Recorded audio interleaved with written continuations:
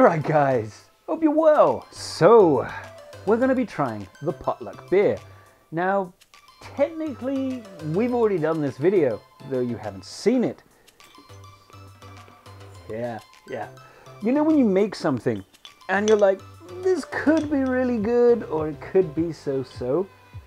This is one of those times where um, it's so good that uh, I, I just got lost in myself and drank loads of beer.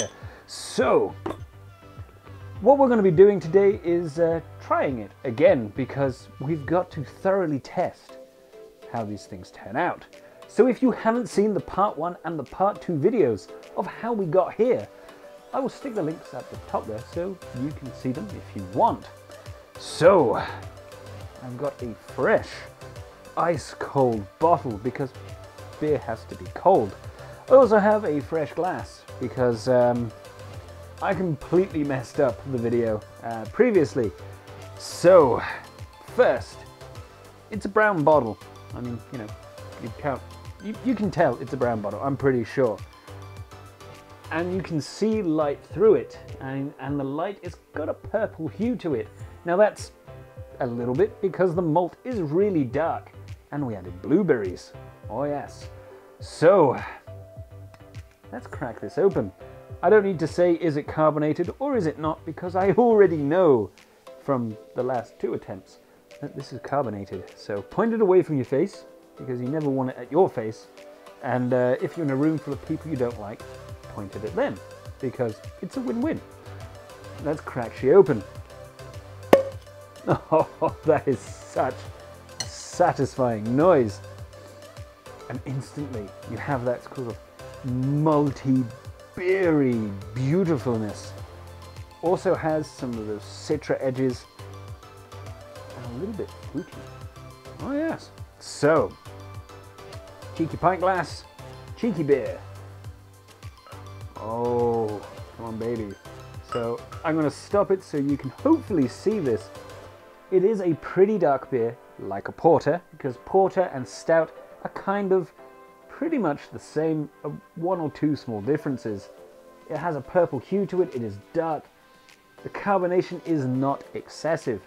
I'm not a great fan of high carbonation, if you decide to make this and you like a lot of carbonation, just add more. Use a beer calculator, a priming calculator. You can find them on the interwebs. So uh, pour this beauty out. Now because I don't highly carbonate it, I can do all sorts with it. So just, just a little bit. There we go. And I'm going to leave the last little bit because I don't want the yeast. I'm not a great fan of the yeasty bottom.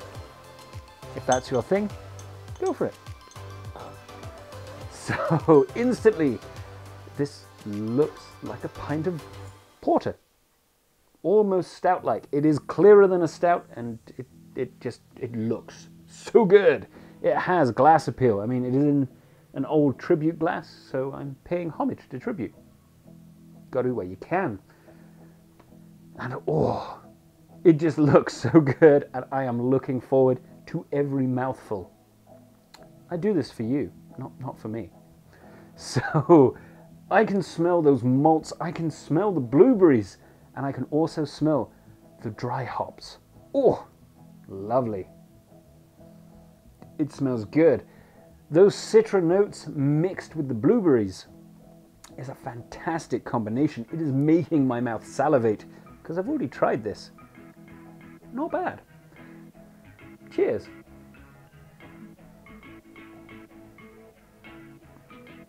Mm, that is good. It's, it's still good.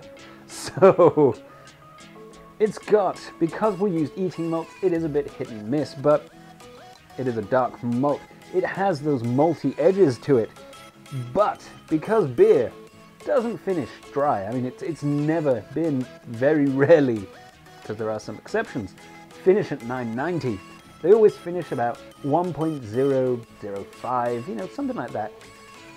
And that's cool. But this, because it's a porter style, which is a little bit strange, if you will, it finished at a quite high gravity at uh, 1.020, somewhere around that, uh, without checking. Now that means that the blueberries that we added in here because blueberries are kind of they're tart. They're not uh, they're not the sweetest fruits in the world. They're not the driest either, but they're not they're not a strawberry. Let's face it, they're not a strawberry. They're not a really ripe banana. They're kind of tart.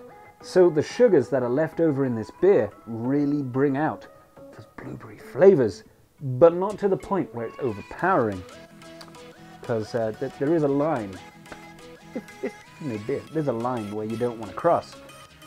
This naturally works beautifully with blueberries. I kind of had a feeling that it kind of would, but it I, I made it up. So I'm really happy when a plan comes together, and this is a good plan. Cheers.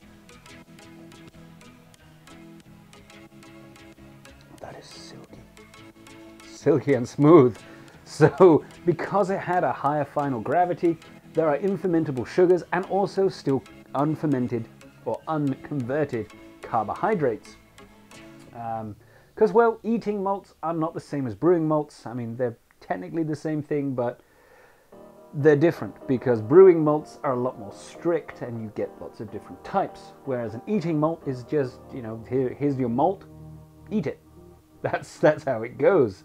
Now, let's talk about these hops because uh, I actually got a question in, well, not question, I got told, told, that, that's how it went, in the last video that they would have uh, boiled the hops because hops, when you dry hop, it only adds a aroma not true. I can officially say that's not true. Now, if I had boiled hops, there would be a lot of bittering in here. Now, dry hopping only gives you about 40% of the, you know, by weight bittering um, because well, you're not boiling the hell out of them. So this has less bittering, but there is still bittering in here. And it is just enough because too much bittering you would overpower those blueberry notes. You're not getting those oh, citra notes. no. is what happens when you have a few beers and a bacon sandwich. I mean, that's, uh, yeah, that's what happens.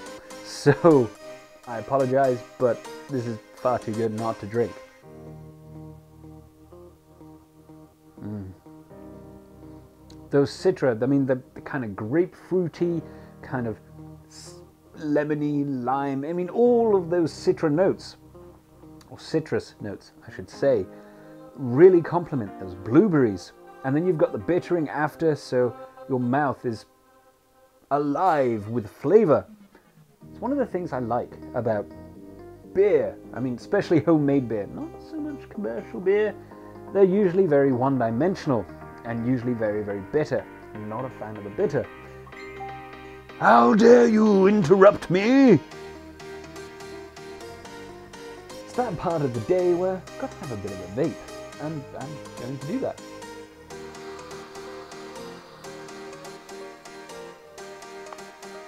That is tasty too. Since some of you were asking, uh, were interested or liked what I was uh, what I was vaping, because I occasionally say what I'm vaping. Currently vaping lemon tart Not bad. high VG um, works well on this thing. Anyway, back to what we were talking about. So, tasty beer. It's just good. It's just good, wholesome fun for all the plus 18 family. Now, if you're brewing your own beers, you're going to have a different idea. I mean, if you were told to come up with your own recipe, um, you're going to do things differently than I would. Doesn't make it wrong, just makes it different. Nothing wrong with being different. I like my dry hopping, I don't like my boiling. And uh, yeah, I'm never going to change my mind on that because I like the less bittering, I like the more aromas, the more flavor. Um, I just like how it turned out. Now, it is a fantastic beer. It works. I didn't know it was going to work, but it does work It looks good too.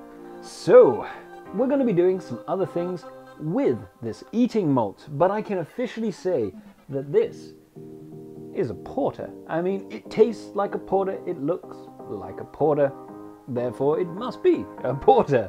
So, uh, there we go. We now know what a potluck beer, as in the eating malt, should turn out like if you were going to use it. Uh, I don't know about other brands, but definitely Reynard's is uh, turns into a dark multi porter-like beer. And when you add the blueberry and the hops, really tasty too. So good.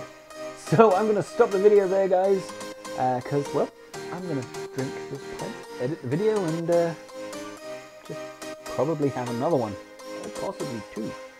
So I hope you enjoyed the video, guys. Don't forget to check out some of the other ones, and, well, subscribe if you feel like it. You know, do all of that stuff. Comment below, like.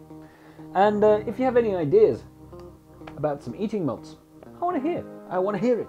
Put it in the comments below. So, uh, carry on homebrewing, guys. See you later.